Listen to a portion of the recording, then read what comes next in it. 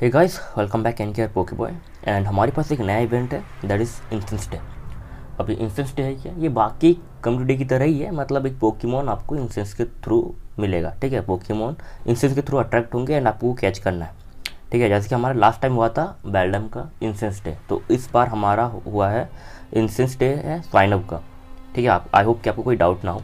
तो पहले हम बात कर लेते हैं कि what is incense day and why is important ठीक है? तो इंसेंस डे एक, जैसे कि मैं, अभी मैंने बोला, एक कम्युनिटी टाइप का पोकी मतलब कम्युनिटी टाइप का इवेंट होता है। आपको 11 टू 5 पीएम एक दिन में इतने आवर तक आपको खेलने पड़ते हैं। एंड इतने के बीच में इंसेंस से कुछ पर्टिकुलर पोकीमोन्स जो होते हैं, वो स्पॉन होते हैं, जो कि इस इवेंट में भी बताया गया है।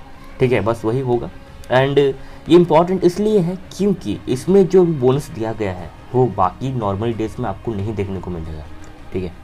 तो मैं पहले बात कर लेता हूँ कि इंस्टेंस टेम में कौन सा पोकेमोन का थीम है। तो यहाँ पे आपको देख सकते हैं, जैसे कि ये है स्वाइनअप का। लास्ट ईयर जब हमने खेला था तो वो था बेल्डम का।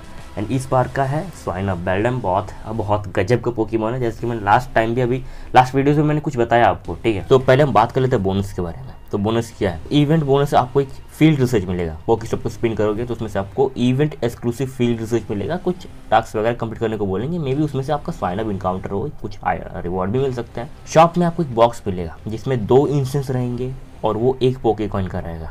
ठीक है? एक पोके कॉइन से आपको खरीदना पड़ेगा, उसमें दो इंस्टेंस पड़ा रहेगा उस बॉक्स में।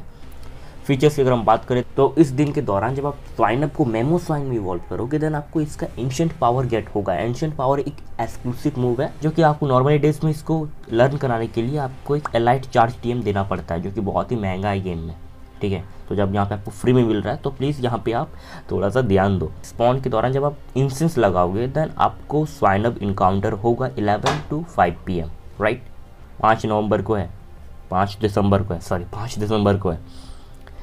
सो एंड अब कुछ और पोकेमोन्स पे ओनली ये नहीं, कुछ और पोकेमोन्स पे इनकाउंटर होंगे बट मोस्टली जो आपका स्वाइनअप इनकाउंटर होगा? एंड उसमें से कुछ ये पोकेमोन्स इक्का दुक्का भी स्पॉन होंगे। तो बात कर लेते हैं कब होने वाला है। तो 11 टू 12 पीएम ये सारे पोकेमोन स्पॉन होंगे। एंड 1 पीएम टू 2 पीएम ये पोकेमोन स्पॉन होंगे एंड 3 पीएम टू 4 पीएम ये पोकेमोन स्पॉन होंगे। एंड अगर आप लकी हुए देन आप यहाँ पे गैलेरियन डारूमा का भी इनकाउंटर कर सकते हैं। बारह से एक बजे के बीच में आपको ये सारे पोकेमोन्स देखने को मिलेंगे, क्योंकि ये ice and ground type event है। तो मैं इसको आपको अच्छे से समझा देता हूँ। तो क्या होगा, एक घंटा आइस टाइप पोकेमोन स्पॉन होगा एंड एक घंटा आपका ग्राउंड टाइप पोकेमोन स्पॉन होगा। फिर एक घंटा आपका आइस टाइप पोकेमोन स्पॉन होगा, फिर एक घंटा ग्राउंड टाइप पोकेमोन स्पॉन होगा। ऐसा ही यहाँ पे रोटेट होते रहेगा, ठीक है?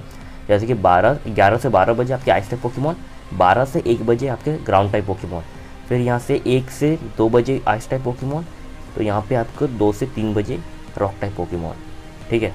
तो आई होप कि आपको क्लियर हो गया होगा कि एक्चुअली क्या मैटर चल रहा है।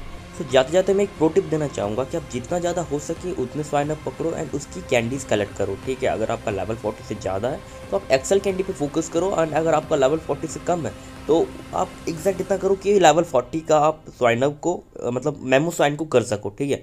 ताकि आपकी रेड में बहुत ज़्यादा हेल्प करे।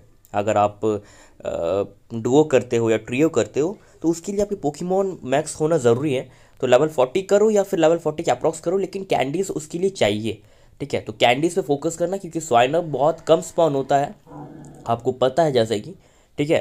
तो ओके गाइस तो ये थी इस पोकेमोन के बारे में, इस इवेंट के बारे में। आई होप कि आपको क्लियर हो गया होगा। और इस इवेंट में आपको क्या अच्छा लगा, क्या बुरा लगा, वो भी बताना। और अगर वीडियो थोड़ी सी पसंद आई हो तो वीडियो को लाइक कर देना चैनल को सब्सक्राइब कर देना और बेलाइकन दबा देना। चलो यार, मेरा बादाम बेचने का वक्त हो गया है। बाय बादाम पर। बादाम बादाम दादा का चाह, बादाम। আমার কাছে নাই বুবু ভাজা বাদাম আমার কাছে পাবে শুধু কাঁচা বাদাম।